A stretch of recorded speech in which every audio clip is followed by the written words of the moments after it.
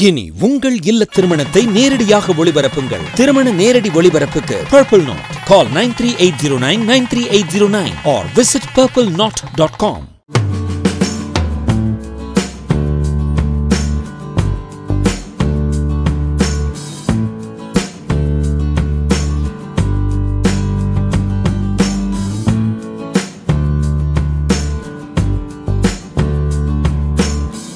மணி நேரம் அலைஞ்சு தான் அதை பிடி முடியும் நைட் ஆகி போச்சு. இது என்ன மதுரையா? வேறு என்ன செய்யுது அப்படியே அலைஞ்சு கழிஞ்சு வாங்கிட்டேன். வாங்கிட்டு வந்து அம்மா இந்தா இந்த கதை தந்து இந்த பழம் அருமையான பழங்கள்னு கொடுத்தேன். வாங்கிக்கிச்சு. தண்ணி எடுத்து வச்சேன்.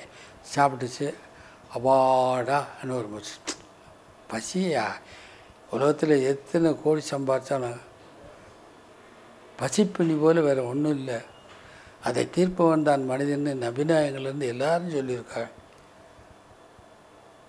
அப்பாடான்னு ஒரு மூச்சு விட்டுது. தண்ணி குடிச்சிட்டு கொஞ்சம் நேரம் பேசலை. அப்போ தானே அந்த உணவே உள்ளே இறங்கும்.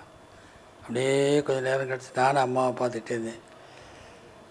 போதும்டா கல்யாணம். இந்த வாழ்க்கையில் மறக்கவே முடியாது. சரிம்மா என்ன வேணாலும் என்கிட்ட சொல்லுமா நான் வாங்கி தரேன்னு. அன்னைக்கு முடிவெடுத்து அதை தாயாக நான் அவங்களுடைய சேயாக காவல்காரனாக நான் பாடுபட்டு வந்தேன். யாராவது திடீர்னு ரோட்டில் போகிறவன் இந்த வீட்டை பார்த்துட்டே அப்படி நின்னான்னு வை பெல் அடிச்சிடும் அந்த பார் நான் ஓடி பெல் அடிச்சுட்டா ஓடி வரணும். அது எவ்வளோ பாரு என் வீட்டையே பார்த்துட்டு இருக்கானு. கதவை தந்து வெளியே போனால் அவன் ஏய் ஏய் இங்கே நின்றுக்கிட்டு இருக்கீங்க. நான் கேட்பேன். என் ஃப்ரெண்டுக்கு அடையாளம் கேபி சுந்தரம் வீடுன்னு சொன்னானுங்க. அதனால் அவன் இங்கே தான் வருவேன் அடையாளம் இந்த வீட்டை சொன்னேன்னா அப்படியா? சரி அடையாளம் இனிமேல் இங்கெல்லாம் சொல்லாத போடான்னு வரட்டேன். இப்படியெல்லாம் நடந்துச்சு கூத்து. ரோட்டில் போகிறவங்க கூட வீட்டை பார்க்கக்கூடாது பயம் வந்துடுச்சு உயிர் மேலே எல்லோருக்கும் ஆசை தானே? அப்படிலாம் நடந்துச்சு. இப்போ ஒரு நாள் என்ன பண்ணேன்? அம்மா ஒரு சின்ன ரெக்வஸ்ட்டுன்னு எத்தனையோ பேருக்கு நீங்கள் படம் பண்ணி கொடுத்துட்டீங்க? நான் ஏழப்பட்டவேன் எனக்கு ஒரு முருகன் கதை இருக்குது நடிச்சு கொடுக்குறீங்களாமான்னு. உனக்கு சிஎம் மகனே வேறு யாருக்கு செய்ய போகிறேன் என்ன கதையை சொல்லணும்னு உடனே சொன்னேன். ஒரு ஆயா அந்த ஆயாவுக்கு ஒரு பேரன். அவனுக்கு சின்ன வயசுல பயங்கரமான ஜுரம் வந்து சாகிற நிலைக்கு வந்துட்டான் அப்போ அந்த அம்மா சொல்லிச்சு முருகனை வேண்டிச்சு பழனி மலை முருகனை பழனியப்பா. இந்த குழந்தை குணமாய் நல்லபடியாக வந்துச்சுன்னா இந்த குழந்தையோடு வந்து என் வீட்டுக்காரர் விலை மதிக்க முடியாத ஒரு வைரம் வச்சுருக்காரு. அந்த வைரத்தை கொண்டு வந்து உனக்கு காணிக்கையாக போட்டேன். இதை குணப்படுத்துன மறுநாளே குணம் ஆயிடுச்சியா? குழந்தைக்கு இதான் அந்த கதை. அம்மாளுக்கு நான் சொன்னேன். அப்போ சின்ன வயசில் இருக்கும்போது எங்கேருந்தோ பருந்து அடிச்சிட்டு வந்து அங்கே ஒரு கோழி குஞ்சை போட்டுச்சு வீட்டு வீட்டுக்குள்ளே. இந்த பையன் அதை எடுத்து தண்ணி ஊற்றி வளர்த்து கிழத்து பெரிய சேவல் அடிச்சது இவ்வளோ உயரத்தில். கிராமத்தில் நீங்கள் பார்த்துருப்பீங்க. சில சேவல்களுக்கெல்லாம் ஒரு தாடி இருக்கும் இங்கே ஒரு கொண்டை இருக்கும். அப்படி நடந்து வந்துன்னா ராஜனடா நடந்து வரும் நீங்கள் பார்த்துருப்பீங்க. அது கிராமத்துக்கு போனவங்களுக்கு தெரியும்.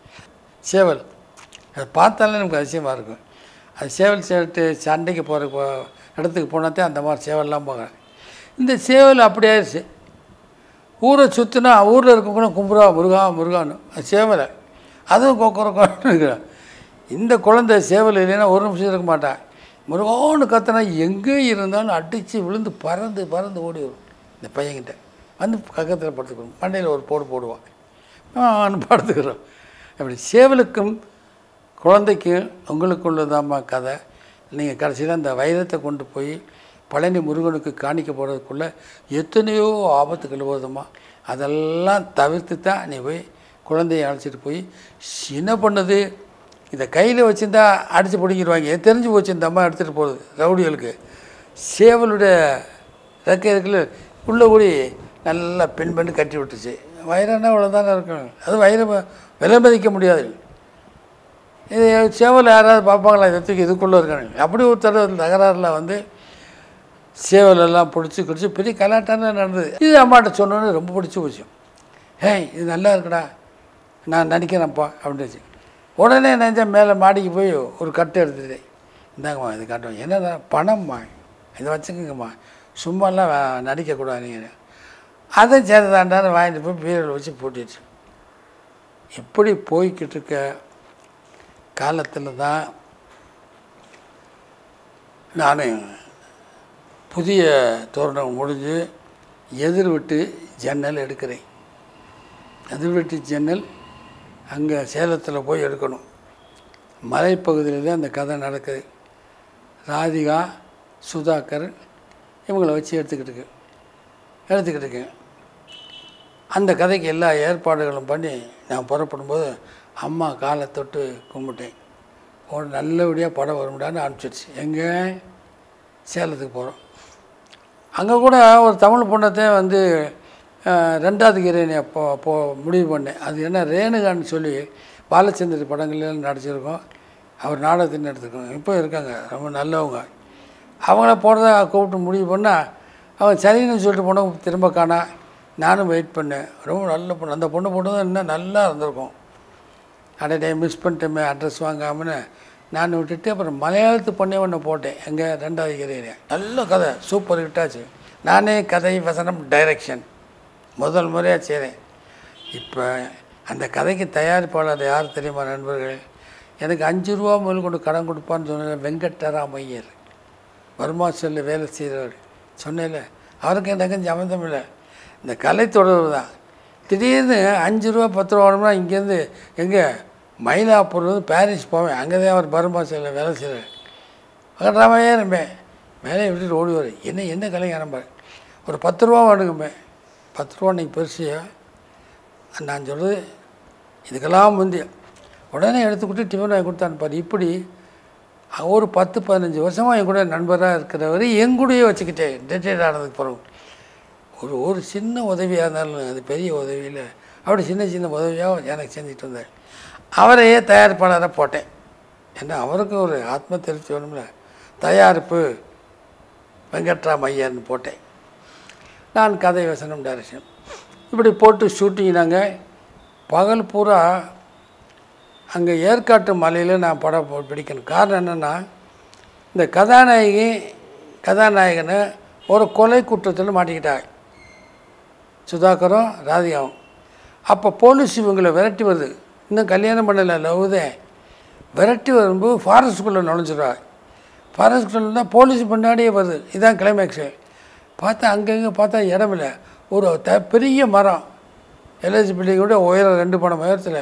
அங்கே இருந்து தரவரையில் ஏணிக்கயிறு தொங்குது. இதை பார்த்துட்டாங்க.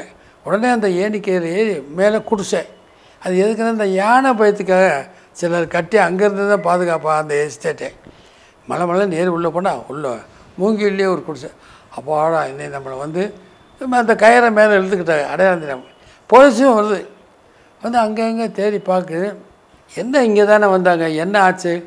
அப்படிங்கும்போது இப்போ கம்பெனி ஷாட்டு கீழே பா அந்த நிற்கிறாங்க மேலே பார்த்தா அவன் அந்த நேரம் பார்த்து நேர்களே கதையில் பழைய பல சீன்கள் ஓடி கடைசியில் தான் இவங்களை வந்து இருக்கிற தேடி தேடி வர்றாங்க அங்கேருந்து தப்பிச்சு தான் அப்பா அந்த பொண்ணு நிற கர்ப்பம் யார்? அவங்க கல்யாணம் பண்ணிக்கிட்டா மலைப்பகுதியில். அங்கேயே இருக்கிற. ஓடி வந்து தான் ஏறினாங்க. அவங்க இறங்கி போனது எங்கேயாவது பிரசவம் பார்க்குற ஒரு அந்த காலத்தில் கிராமத்தில் இருப்பாங்கள்ல போய் பார்க்கலான்னு வந்த பார்த்து வெரைட்டிஸ் போலீஸ். இது கிளைமேக்ஸ் பகுதி. இது கடையில் இருக்குது பத்தாயிரம் அடி கதை இருக்குது அப்போ தான் இந்த பொண்ணுக்கு இந்த ஓடி வந்து இல்லை பிரசவ எடுத்து படுத்துட்டாங்க. படுத்துட்டா இப்போ குழந்தை பிறக்க போகுது. எங்கே? பரனில். கீழே போலீஸ் இருக்குது ஐயோன்னு வாயை திறந்தது ராதியா சுதாகருக்கு வாயில் கையை வச்சுட்டார். கத்துனா போலீஸு பிடிச்சிக்கிறோம் மேலே இருந்து மேலே வருது சத்தம்னு. கையை அப்படி கடித்தது ரத்தம் விழுகுது அப்படி ஒரு கடினம். பிரசவ வேதனைன்னா உங்களுக்கு தெரிஞ்சவங்களுக்கு தான் தெரியும். அதை தாங்க முடியாமல் அவன் கையை கொடுத்தோன்னே அதே கடிச்சிக்கிட்டு ஒரு பக்கம் பிரசவம் இப்போ பிரசவத்தை நம்ம அப்படியே காட்ட முடியல பிளாக் அண்ட் ஒயிட்டில் போட்டேன் கருப்பில். போட்டால் போலீஸு நாலா பக்கம் சொல்லுது அங்கே பிரசவ வேதனை. இவன் கையை கொடுத்துக்கிட்டு இப்படியே கடிச்சிக்கிட்டு இருக்கான். பையன் கையை பயங்கரமாக கடிச்சிருச்சு. கடிக்கலைன்னா சத்தம் வந்துடும் வெளியே. திடீர்னு ஞான சுவார் சவுண்டு குழந்தை பிறந்து போலீஸ் மேலே பார்த்தா அவங்க இருக்க தெரிஞ்சு அரெஸ்ட் பண்ணி கொண்டு போய் கோர்ட்டில் நிறுத்தான் வயசை முன்னிட்டு அவங்க ரெண்டு பேரும் விடுதலை பண்ணிட்டா. இதுதான் கதையினுடைய சுருக்கம் ரொம்ப அவுட்டு நான் சொல்லிட்டேன். இதுதான் எதிர்வெட்டு ஜன்னல் இந்த படத்தை எடுத்துக்கிட்டு இருக்கும்போது அந்த படம் ரிலீஸ் ஆகி எனக்கு நல்ல பேர் நூறு நாள் போச்சு. முதல் டைரக்ஷன் ஆனால் ஒன்று ஒன்று ஒன்று விடலை. டைரக்ஷன் பண்ணுறது கதை வேசனம் பண்ணுறது பாட்டுறது விடலை என்னால் ஏன்னா சொந்தமாக எடுக்கும்போது நானாக எல்லாம் பண்ணிக்கலாம்ல. அப்படி ஒரு பாக்கியத்தை முருகன் கொடுத்துருக்கானே. அப்படின்ட்டு இப்போ படமும் நூறு நாள் ஓடிச்சு. ரொம்ப நல்ல பேர் எனக்கு இந்த படம் ஷூட்டிங் நடந்துக்கிட்டு இருக்கும்போது அதை சொல்லணுமே. அங்கே துர்கா ஹோட்டல்னு நினைக்கிறேன். துர்கா. அது எப்படின்னா மானந்த தேட்டர்ஸுக்கு முன்னாடி ஏற்காட்டுக்கு போகிற ரோட்டில் அந்த கார்னரில் இருக்குது பேர் துர்கா தான் அன்றைக்கி இன்றைக்கி என்னென்ன மாற்றினாங்களோ எனக்கு தெரியாது. அந்த ஹோட்டலில் நாங்கள் வரிசையாக ரூம் எடுத்து ஒரு ரோவே பிடிச்சிட்டோம். ஒரு பத்து பதினஞ்சு ரூம் எங்கே இருந்தேன். அங்கே ராதிகாவுக்கு ஒன்று சுதாகர் ஒன்று அந்த மலையாளத்து பொண்ணு ஒன்று அந்த படத்தில் வழக்கம் போல் ஒரு புது முகத்தை அறிமுகப்படுத்தினேன். அதை அதை சொல்லணும்ல. நாகராஜ சோழன்னு அவன் பேர். பிரமாதமாக நடிப்பான். தெரியும் நாடகம்லாம் இருந்தது கிடையாது அவன் தஞ்சாவூர்லேருந்து வந்த பையன். அவன் அது சான்ஸ் கேட்டான். நடிச்சு காட்டினான். போட்டுட்டேன். எதிர்வடி சேனலில் நான் போட்டேன் அவனை. அவனும் நடிக்கிறான். யாரும் நாகராஜ சோழன். அந்த படத்தில் அவன் தான் அறிமுகம். அவன் ஒரு டயத்தில் மிருதங்க சக்கரவர்த்தியில் வண்டிக்காரன் நடிப்பான். நீங்கள் பாருங்கள் எங்கள் எப்போவாவது மிருதங்க சக்கரத்தை போட்டால் சிவாஜிக்கு வண்டி பத்துருவனா அந்த நாகராஜ சோழன் நடிப்பான். அது ரெண்டாவது படம். நான் தான் அவனை போட்டேன். அப்போ அவன் கொஞ்ச நாளில் இறந்துட்டான் பாவம். அவனை எதிர்வடி சேனலில் நான் அறிமுகப்படுத்துகிறேன் அவனும் இருக்கான். வரிசையாக ஒரு இருபது முப்பது பேர் நாங்கள் இருக்கோம். பணசம்பணி ஏகே சுப்பிரமணியம் சொல்லி அவர் வந்து கோபாலஸ்துக்கிட்ட அசோசியேட் டைரக்டராக இருந்தார் ரொம்ப புத்திசாலி. ஏகேஎஸ்ன்னு சொல்லுவாங்க. அவரையும் கூட வச்சுக்க. ஏன்னா நான் முத முத டைரக்ட் பண்ணுறேன்ல கூட வந்து புத்தி எப்போவுமே ஒன்று வச்சுக்க நமக்கு என்ன தான் அதிர்ஷ்டம் இருந்தாலும் என்ன தான் வசதி வாய்ப்பு இருந்தாலும் நம்மளை விட புத்திசாலி ஒரு ஆளை கூட வச்சுக்கணும். எனக்கு தான் எல்லாம் தெரியும்னு இருக்கக்கூடாது. அது தப்பு வந்துடும் நம்மளை விட யார் புத்திசாலியோ அந்த காரியத்துக்கு அவனை கூட இணைச்சிக்கணும். அப்படி தான் ஏகே சுப்பிரமணியங்கிறவர் கோபாலகிருஷ்ணனுடைய என்ன இருக்கார் இவரோட. அவரை அசோசியேட் டைரக்டராக வச்சுக்கிட்டேன். ஷூட்டிங் நடக்குது. திடீர்னு எம்ஜிஆர் வருகை. ஏன்னா மக்களுக்கு அந்த புரட்சி தலைவரை சொன்னால் தானே ஆறுதல் அடைய. வந்துட்டார் அந்த ஹோட்டலுக்கு தங்க. என்னன்னா அவருடைய ஆட்சியை சஸ்பெண்ட் பண்ணி இந்திரா காந்தின்னு நினைக்கிறேன். டிஸ்மிஸ் பண்ணிட்டாங்க. அப்போ இவர் பை எலெக்ஷன் ஸ்டார்ட் பண்ணிட்டார். விட்டல வரும் யார்? எம்ஜிஆர். பை எலெக்ஷன் ஸ்டார்ட் பண்ணி ஒவ்வொரு ஊராக சொல்லிக்கிட்டு வரும்போது சேலத்துக்கு வரும்போது இங்கே ராஜாராம்னு ஒருத்தர் மந்திரியாக இருந்தார் உங்களுக்கு தெரியும். அவர் தலைமையில் ஊர்வலம் வந்து இந்த துர்கா ஹோட்டல் முன்னால் முடியுது. பெரிய ஊர்வலம். ஏன்னா ஒரு ஆள் ரெண்டு ஆள் இல்லை.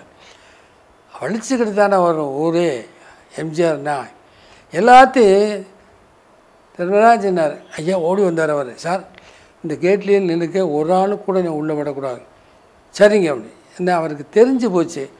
ஒரு சினிமா குரூப்பு மேலே இருக்கிறேன் ஒன்று வச்சுருக்க நேர்களே என்னதான் முதல் மந்திரியாக இருந்தாலும் அவங்க பழசை மறக்கிறதில்ல. நாடக கம்பெனிக்காரங்க சினிமாக்காரங்க எங்கேயாவது இருந்தால் எம்ஜிஆர் ஓடி போய் விசாரித்து அவங்களோட கொஞ்சம் அளவலகனா தான் அவங்களுக்கு திருப்தி வரும். அது பழைய வாழ்க்கையில் வாழ்க்கை அது மாதிரி தான் கலைஞர் கூட. நாடக கம்பெனிக்காரோ சினிமாக்காரோ எங்கேயாவது இருந்தால் அவங்க பிரச்சாரம்லாம் முடிஞ்சோடனே அவங்களோட பேச ஆரம்பிச்சிருவாங்க. அதில் அவங்களுக்கு ஒரு சந்தோஷம். கேட்பாங்க ஒவ்வொருத்தரை பற்றி இது அவங்களுடைய ரொட்டீனான ஒரு வழக்கம். அந்த கேள்விப்பட்டு தான் யாரும் சொல்லியிருக்காங்க. துர்கா ஹோட்டலில் புக் பண்ணாங்க போது அங்கே நடிகர்கள் எல்லாம் இருக்காங்க. அவங்களுக்கு இடைஞ்சலாக இருக்குமே யார் யார் நடிகை? சுதாகர் ராதிகா கலைஞரங்கிற ஒரு படம் இப்போ அவரை நான் மூணாவது முறையாக சந்திக்க போகிறேன் எம்ஜிஆர். அப்படி சொன்ன உடனே சூரியராஜன் மனோரமா இப்படி ஏற்பட்ட ஸ்டார் ஹோட்டலே உடனே என்ன பண்ணார்? ரெண்டு ரூமை ஒன்றாக சொல்லி ஆர்டர் பண்ணிட்டார். ரெண்டு ரூமு உண்டாக்கி எங்கள் ரூமுக்கு பக்கத்தில் இருந்தவர்களுக்கு ஷிஃப்ட் பண்ணி வேறு பக்கம் மாற்றி விட்டு ஹோட்டலுக்கு தான் அவர் சொன்னோடி கேட்பார். அவரும் வந்துட்டார். வந்து அங்கே வந்து ரூமில் இருக்கோன்னா ஒரு கொஞ்சம் நாங்கள் எட்டி பார்த்தா லட்சக்கணக்கான பேர் வெளியே நிற்கிறாங்க அந்த ராஜாராம் இருக்கார் கண்ட்ரோல் பண்ணிகிட்டு இருக்காரு. போலீஸும் கண்ட்ரோல் பண்ணும் இப்போ உள்ளே வந்தது என்ன செஞ்சார்? என்ட்ரன்ஸில் நின்னார். நாங்கள்லாம் ஷூட்டிங் ஏற்காடுக்கு பரப்புகிறோம் நெல்லுங்கன்ட்டார். நல்லா நின்று எங்கே? ஏற்காட்டில் ஷூட்டிங்கு. அப்படியா? சரி. இன்றைக்கி கேன்சல் பண்ணுங்கள் எனக்காக அப்படின்ட்டார். ஐயா முதல் மந்திரியாக இருந்தவர். இப்போத்தையும் சஸ்பெண்ட் ஆகி பை எலெக்ஷன் நடக்குது. அதிலையும் ஜெயிச்சிட்டார். அது வேறு சமாச்சாரம். அவர் சொல்லும்போது நாங்கள் திரும்ப இல்லை இல்லை நான் ஷூட்டிங் எதுவும் போக போக முடியுமா? அது ஒரு நாள் எனக்காக கேன்சல் பண்ணேன் உடனே கேன்சல் பண்ணிட்டேன். கேன்சல் பண்ணி ராதிகா நீ மட்டும் இருந்தார். இருந்து உள்ளே வர சொன்னார். அப்புறம் அவங்க ராதாண்ணன் மக தானே அவருக்கு தான் தெரியுமே. போட்டுக்கிட்டு ஒரு- ஒரு சிலரெல்லாம் உள்ளே வர சொல்லிட்டார். அந்த மலையாள பொண்ணையும் உள்ளே வர சொல்லிட்டார். இந்த நாகராஜ சோழனையும் உள்ளே வர சொல்லிட்டார். நடிகர்கள் மட்டும். அப்போ கதை என்னன்னு கேட்டார். யார்? எம்ஜிஆர். கதை சொன்னேன். யோ கதை சூப்பராக இருக்கியா? ஆனால் கத்திவேல் நடக்கிறது மாதிரி நீ பிரசவ நடக்கிற எடுக்கிற. குழந்தை பிறக்கிறது மாதிரி. சென்சார் விடுவானான்னு ஒரு சந்தேகம். ஜாக்கிரதையாடுன்னு எச்சரிக்கை பண்ணார் எம்ஜிஆர். இந்த படம் முடிஞ்சோடனே எனக்கு இந்த படத்தை போட்டு காட்டுறேன் அப்படின்னு பண்ணுறேன்னேன்ட்டேன் சரிட்டு அவர் பார்க்காம வேறு யார் பார்க்குறது? இப்போ அதெல்லாம் முடிஞ்ச உடனே ஒவ்வொருத்தருக்காக வந்து டெஸ்ட் பண்ணுறாரு நீ எப்படி நினச்ச நீ என்ன நினச்ச அவர் பொழுது போகணும்ல வேறு இல்லை. இருபத்தி நாலு மணி நேரம் பிரச்சாரம் பண்ணி காஞ்சி போய் வந்திருக்காரு காஞ்சி போய் வந்திருக்கார். நாங்கள் தான் ரிலீஃப் அவருக்கு. உடனே எல்லாத்தையும் அனுப்பிச்சிட்டு அந்த நாகராஜ சோழன் மட்டும் நிறுத்திட்டாமே கொஞ்சம் பாடியாக அப்படி இருப்பான் உன் பேர் என்ன? நாகராஜ சோழன். எத்தனை படம்? இல்லையா? இவன் ஐயா இந்த படத்தை தான் என்னை அறிமுகப்படுத்தியிருக்காரு. அப்படியா? சரி எங்கே உன் சட்டையை கழட்டு? கேட்டேன். உன் எக்ஸசைஸ் பாடின்னு சொல்லி காட்டணும்னு அவன். அப்படி இப்படின்னா அது நாகராஜா எப்படி நான் பண்ண எக்ஸசைஸ் பண்ணால் ஒன்று இருக்க நடக்காத ஆர்ட்டு ஆற்று. இந்த நான் பண்ணி காட்டுவேன் யார்? நான் பண்ணி காட்டுறேன் அது மாதிரி பண்ணுன்ட்டு அவனுக்கு சொல்லிக் கொடுக்குறாயா எம்ஜிஆர். புதுமுகம் தான் அறிமுகம். எப்படி எக்ஸசைஸ் பண்ணுங்கிறது நாகராஜன் சோழனுக்கு சொல்லிக் கொடுக்குறாங்க நாங்கள் சென்னையில் வெளியே பார்த்துக்கிட்டு இருக்கோம். எப்படி ஒரு அந்நியோன்யமான மனுஷன் மக்களோட இணைஞ்சி பழகத்தை நான் அவர்கிட்ட தான் பார்த்துருக்கேன். அவனும் க கற்றுக்கிட்டான் இப்படி அன்னைக்கு பூராவும் அவரோடையே இருந்தோம். புறப்படும் போது மறுநாள் நாங்களும் ஷூட்டிங் போனோம்ல. கல்யாணம்னு கூப்பிட்டாரு. படம் முடிஞ்சோடனே எனக்கு ஃபஸ்ட் காப்பி காட்டுறேன். நேராக ராமவரம் தோட்டுக்கு அனுப்பிச்சிடுறாரு சரி நீ முதல்ல நீங்கள் பாருங்கள் புறப்பட்டு போயிட்டார். போனதுக்கு பிறகு நாங்கள் ஷூட்டிங்கெல்லாம் முடிச்சு கிடிச்சு கிளைமேக்ஸ் எடுத்தோம் கிளைமேக்ஸ் எங்கே எடுத்தேன்னு தெரியுங்களா? இப்போ மரத்து மேலே குடிசை இருக்கு. அங்கே போய் மேலே ரெண்டு ப உயரம். அவ்வளோ தூரத்தில் போய் கேமரா வச்சு எடுக்க ரொம்ப இல்லை. அதுக்கு மேலே போய் கேமரா வச்சு எடுக்கணும். ரொம்ப கிளைகளை ஒடிஞ்சு விழுந்தால் கேமரா அவுட் ஆயிடுவா. பனை ஒன்றரை பணம் உயரம் அந்த மரம். அது மேலே குடிசை. அப்போ பிரசவத்தை எடுக்கிறதுன்னா ரொம்ப சிரமம் இல்லை. பார்த்து உடனே அந்த குடிசையை கட் பண்ணி மாடர்ன் தேட்டர்ஸில் போட்டேன் கொடுத்தேன் அங்கே இருக்கிறது மாதிரி. இங்கே நேராக மாடர்ன் தேட்டர்ஸ் போனேன். எனக்கு அளவில்லாத சந்தோஷம். அங்கே போய் எடுக்கிறது என்னென்னா நான் முத முத சின்ன வயசில் நாற்பத்தி ஒம்பது வயசில் மாடர்ன் தேட்டர்ஸுக்கு போனேங்கிறதெல்லாம் உங்களுக்கு சொல்லியிருக்கேன். அங்கே வாட்ச்மேன் என்னை விரட்டி விட்டாங்கிறது சொல்லியிருக்கேன். அங்கே மாதவ தேவி நரசிம்மராமி மட்டும் பார்த்தது ரொம்ப சந்தோஷப்பட்டேன். எல்லாம் சொல்லியிருக்கேன். அங்கே விரட்டி விட்டாங்க. ஊருக்கு வந்துட்டேன். பீச்சில் பார்த்துக்கிறது எல்லாமே உங்களுக்கு சொல்லியிருக்கேன். அந்த ஸ்டுடியோக்குள்ளே உள்ள விளையாத ஸ்டுடியோக்குள்ளே நான் கதை வசனம் டைரக்ஷன் பண்ணி தயாரித்து அந்த ஸ்டுடியோக்குள்ளே யூனிட்டோடு போகிறேன் எனக்கு ஒரு செட்டு வேணும்னு. அப்போ கொஞ்சம் என்னமோ தெரில அன்றைக்கி வேலை இல்லை. ஆளுங்கள்லாம் இருக்காங்க. ஆனால் நான் வந்து ராமப்பா பார்க்கணும். ராமப்பாண்டா டிஆர் சொல்லிட்டு மகன்தான் அப்போ நிறுவம் அவர் எப்பாவது வருவார் போவாருங்க. ஷூட்டிங் இருந்தால் தான் மெயினாக வருவார். சரி அவர் வரும்போது நான் பார்த்துக்கிறேன். எனக்கு ஒரு செட்டு போடுங்கன்னு அந்த ஸ்டில்லை காட்டினேன். அங்கே தான் ஸ்டில் எடுப்போம்ல அப்பப்போ. இந்த மாதிரி ஒரு குடிசை போடுங்கன்னு. அதாவது மரத்து மேலே எடுக்கிறது மாதிரி எடுப்பாங்க கேமராமேன் டைட்டாக வச்சு. இன்டர் கட்டில் அதை போடுவாங்க. இதை மரத்து மேலே உள்ளதை. கட் பண்ணிட்டாங்க போட இங்கே அந்த ப்ரெஸ்ஸை வச்சு நான் எடுத்து நான் முடித்தேன் ரொம்ப திருப்தி.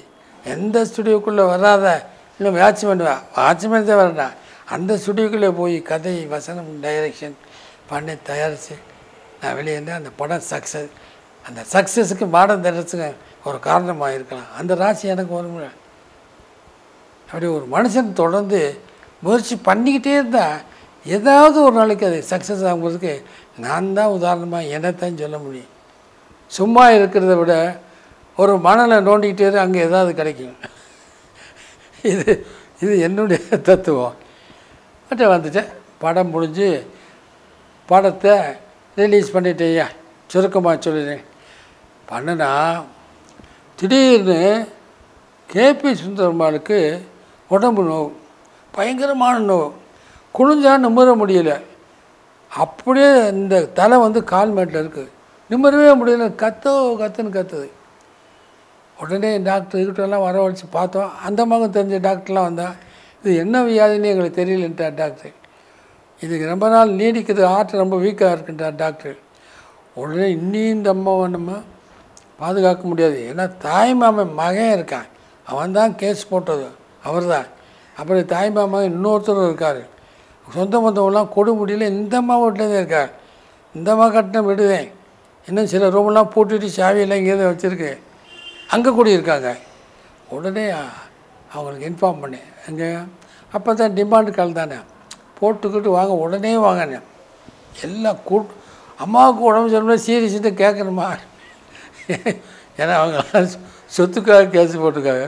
அது எந்த நோக்கத்தில் வந்தாலும் அது அப்பா கூட தாய் மாமன் இல்லை அவங்க அப்பா. அதனால் எல்லோரும் வந்துட்டாங்க. அந்த பகையெல்லாம் மறந்து வந்துட்டாங்க. அதுதான் உண்மை. வந்து பார்த்தா அம்மாவுக்கு சீரியஸ் இந்த மாதிரி நிலையில் ஒரு ஆள் சேலத்துக்காரர் அம்மாவுக்கு சொந்தக்காரர் என்ன பண்ணார் தெரியுமா? இந்த அம்மாவுக்கு உடம்பு சரியில்லைன்னு ஒரு சாமியாரை கூப்பிட்டு வந்துட்டார். அந்த சாமியார் வந்து என்ன பண்ணாருன்னா வரும்போது சின்ன துண்டு கோவணம் கட்டிகிட்டே வர்றார். அவர் முருக பக்தராக வேலை கையில் வச்சுட்டே வர்றார்.